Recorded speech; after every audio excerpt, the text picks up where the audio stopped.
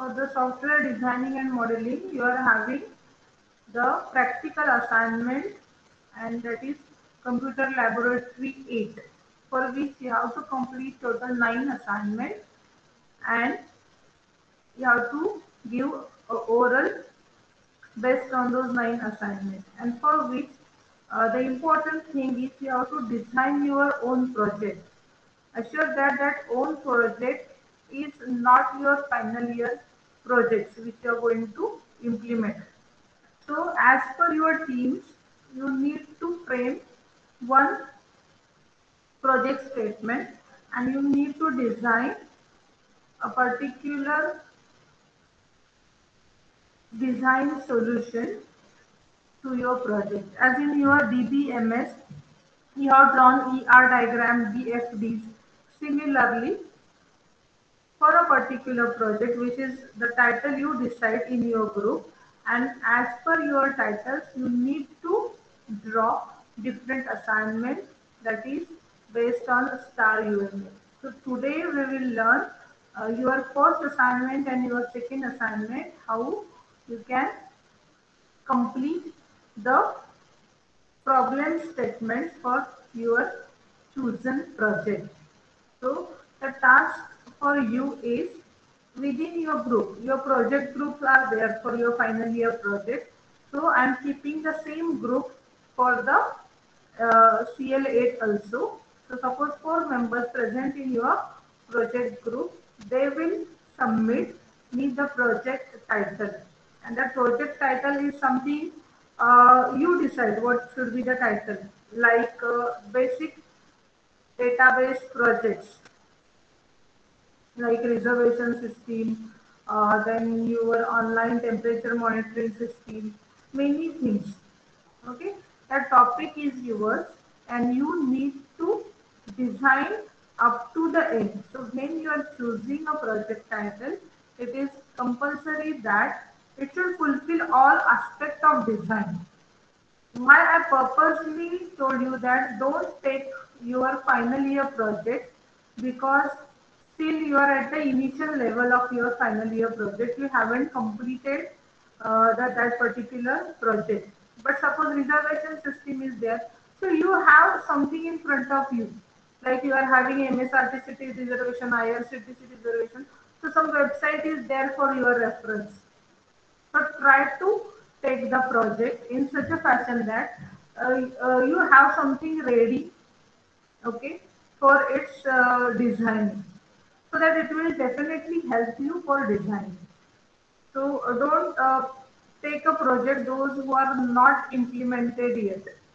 Yes, you add your different ideas to your project. So something is implemented, you can see in the website. You can add your more ideas when you are considering that particular project. Okay, but uh, suppose that project is never exist. So then take such a like a um, project. Uh, suppose you want to create a flying car. So still we are having self-driving car, but flying car project, you know, and it, it, it has a many hardware implementation. So my suggestion is while drawing uh, different diagrams, just take that you are focusing more on the software parameters. So it is a hardware, some sometimes we are IoT based project, so it should be a combination of hardware plus software. But don't only take the hardware projects. You put some software background or some embedded background to it. So select the project in that fashion. Uh, tell your team members that within this two days you have to finalize the project title. I will share the uh, file on Gnomio as per your project groups of your final year project that team remains same and then just you put the title of your project for CL8 assignment and keeping your team same okay just your project title you discuss within your members and you write down that project title and based on those project titles, you have to complete all the eight assignments. The last assign last two assignments are slightly different one, GOF and GRASP assignment. So just check, we'll start with what is the expectation when you complete uh, the identification of your project. So just check in the first assignment, I will share your lab manual.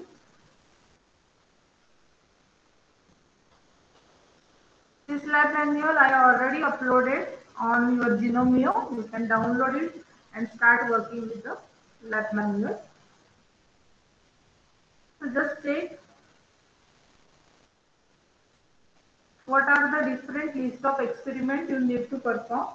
The first is write the problem statement for system and a project. Though assignment is write the problem statement for the system or a project, here we are writing its SRS.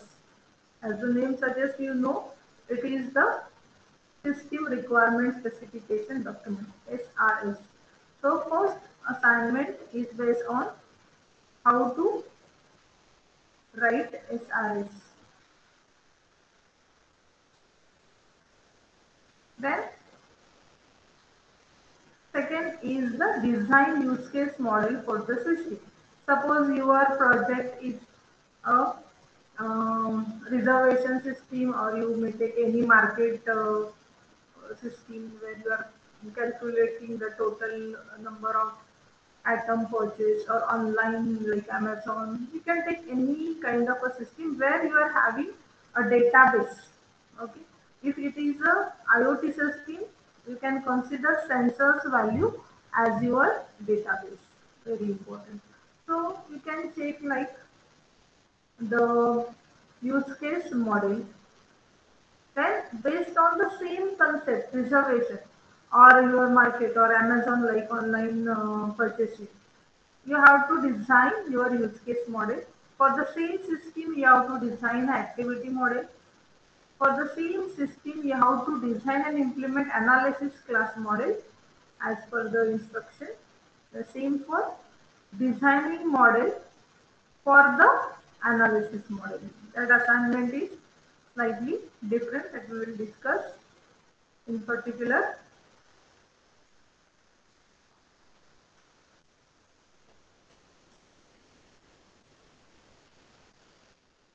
So assignment number 5 is for a particular analysis model that is a class model we are having two different assignments analysis class model and design class model. So we need to complete that those diagrams for both the assignment. At the base, our project, our system remains same. Then you have to draw the sequence diagram for a given system. So for the sequence diagram also, we have to focus on our project pattern and then the state diagram. Here in our assignment number 6, we are also generating its code. Implement the same using suitable object-oriented language. So when you are drawing a particular sequence model of that assignment, you have to complete the object-oriented language. Then seventh assignment is design and implement state model for a system. So here we are going to develop the state diagram for a given system. Then we will learn different design patterns. Two design patterns are there, class pattern and the geo pattern. That design pattern for a particular system. So basically, we will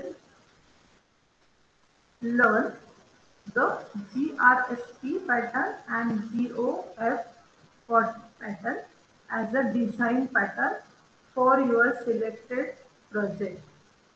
Here important thing is how you are choosing your project and how you are designing different models are important because just take uh, in your question paper also they are giving you a scenario. And based on the scenario you have to design different diagrams like the, the question may be uh, design a class diagram design a state model state diagram design a sequence diagram.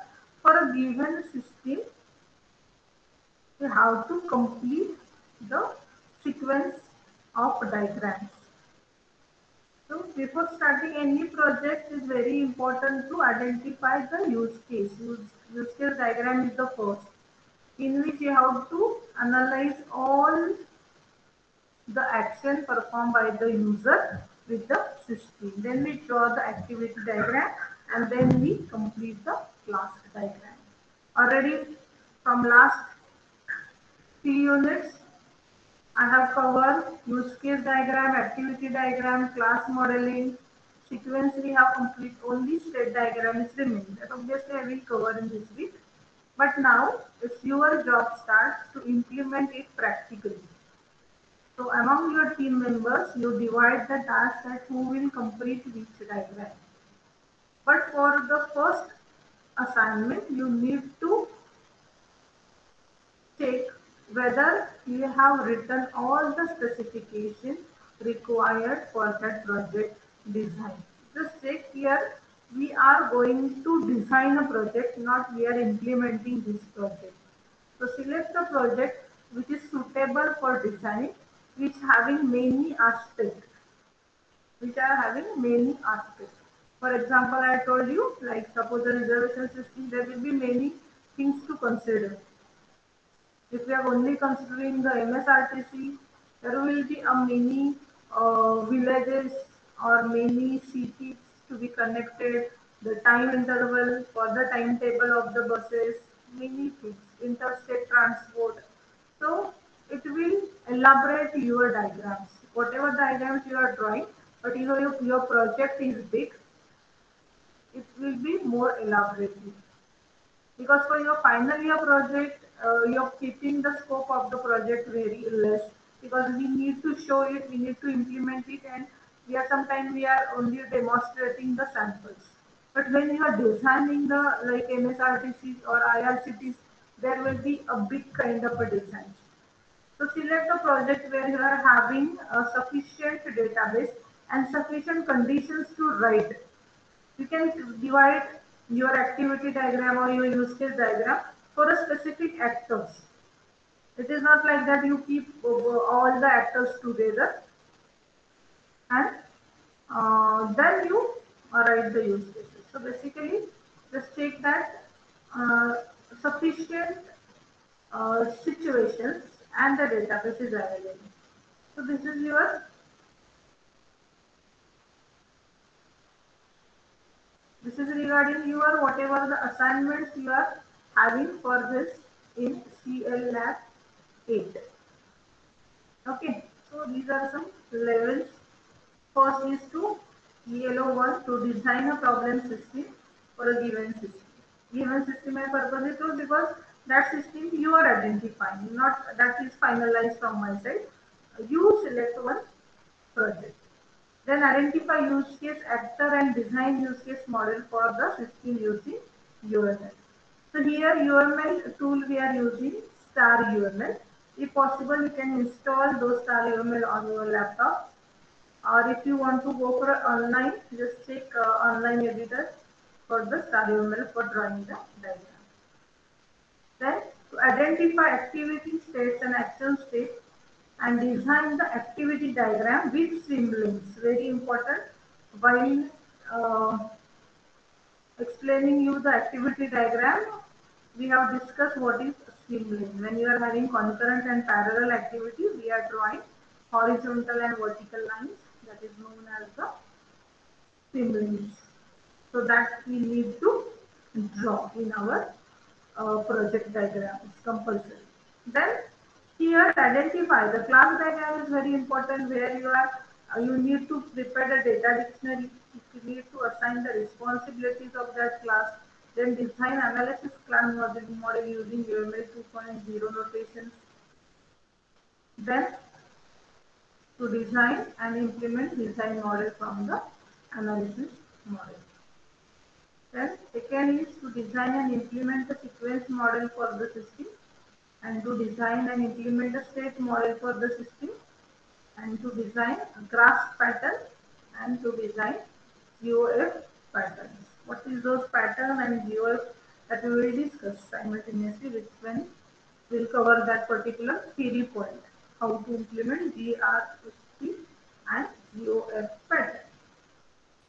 After that, just check your assignment number one. What are the expectations? I have already shared uh, the lab manual on Gnomio. So you take the same point from the for your assignment. Just check you need to prepare this assignment in a group. Okay, this is the submission. I will check uh, like suppose four member present in your group and you have decided like suppose library management system. Don't take the library management because normally we have taking it for our uh, uh, some example in our PT. But take any project like library or uh, like reservation, market. Okay. So within your team, you need to complete this assignment. You need to submit the soft copies to me. The first thing is write a problem statement for a project. So you need to write the problem statement to design because we are not implementing it. So you need to write a problem statement. Then description is identify the project of enough complexity which has at least four or five major functionalities. Identify stakeholders, actors, and write detailed problem statement for your system. So here you need to identify the project with the enough complexity. Okay. Don't take a very small project where you are having a large database and large conditions. So you write the aim, objective,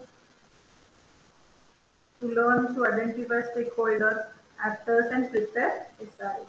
Then already this SRS system requirement specification template is provided to you.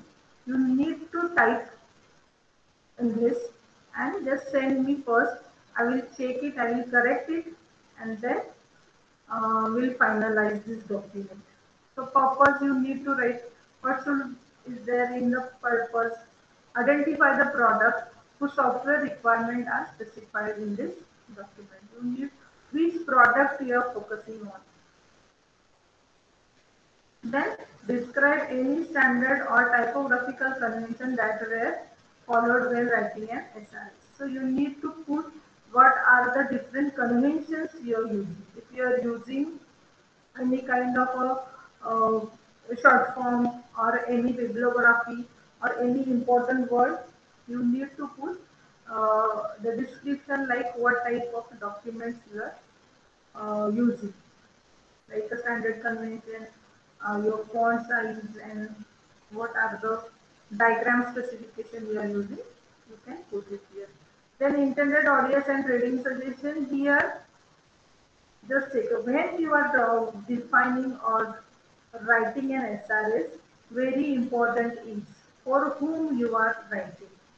Mostly we are writing the SRS for the developers and the project manager.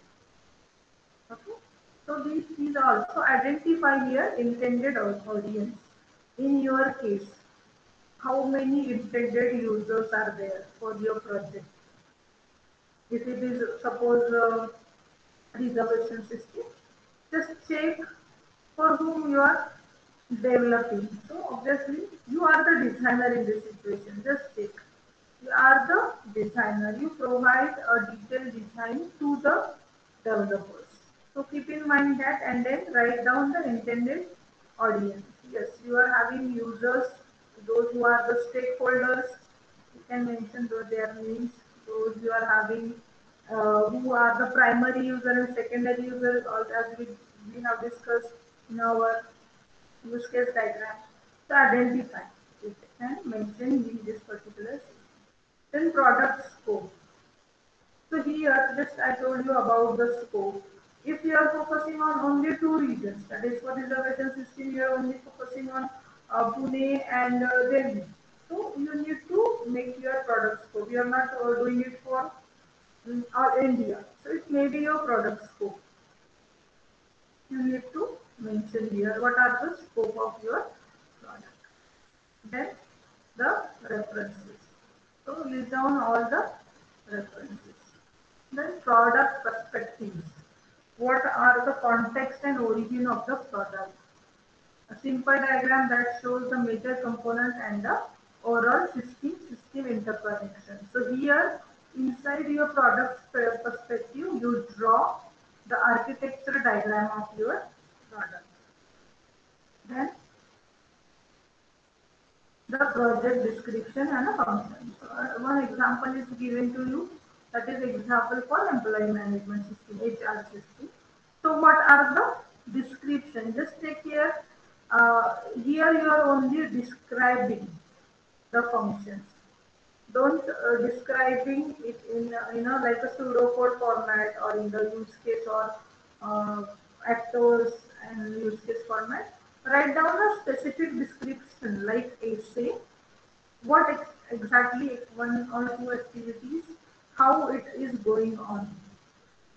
Okay, like just take address consists of house number, road, ward number, pin code. So you just take here this is the address class and attributes of the address class are house number, road, uh, road ward number and pin code. That is there. You need to mention, but not in a class-like style. This is in a simple plain English you need to describe. Then employee gets a monthly salary, the worker will get the salary as a basic pay, additional daily allowances. So this is some functions under salary class. But you need to describe each and everything which is present in your project. It may be a project description or maybe it's a product functionality.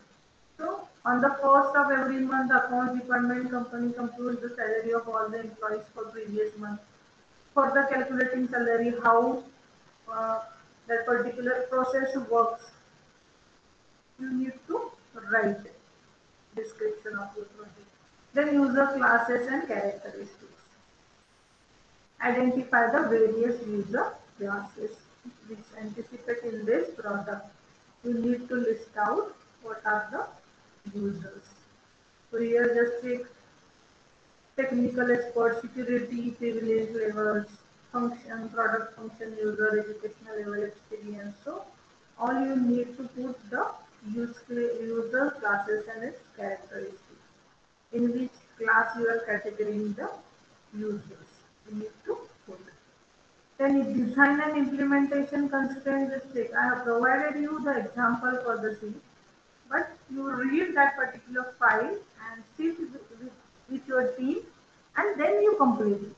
It is not like that a single person job to do it because then you are this is the initial stage you can draw use case diagram alone, activity diagram alone, because whatever you are writing in your first assignment, that is going to relate to all the remaining assignments.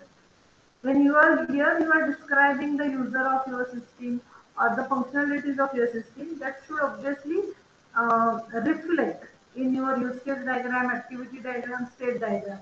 So if a particular salary state is there, so it should be there in your state diagram. So when you are writing here, the designing implementation constraint, the description here, it should match with all your other assignments.